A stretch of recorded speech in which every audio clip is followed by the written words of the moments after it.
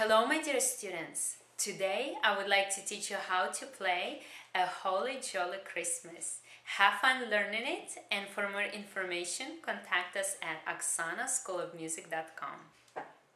E G C C B B A E E G A A G G B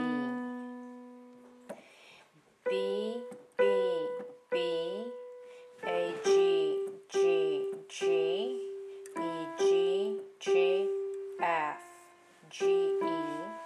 and it repeats. E G C C B B A E. E G A A G G B. B B B A G G G.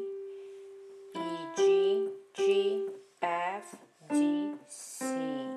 We only need to know two chords for this one, very simple. C chord in root position, C, E, G.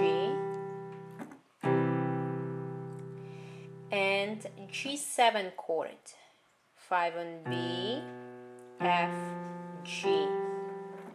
G7 chord. As I play hands together, I will be naming the chord changes in the left hand. C, C,